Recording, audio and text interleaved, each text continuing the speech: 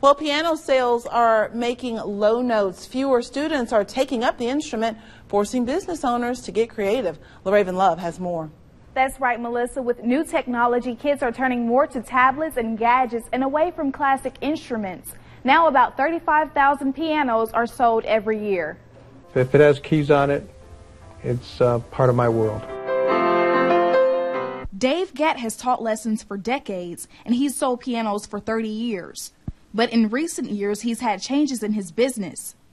In today's market, you have to adapt, which means that you've got to run a much leaner and a much meaner machine. He once had six stores, and now he only has one in California. According to the Associated Press, stores are shuttering across the country. Sales peaked in the early 1900s, but have declined this century. I think that a lot of it has to do with disposable income product in a tough economy.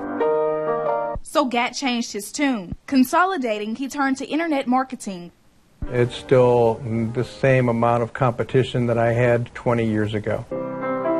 The new information could be troubling, but Gatt says if other stores adapt, the industry can survive.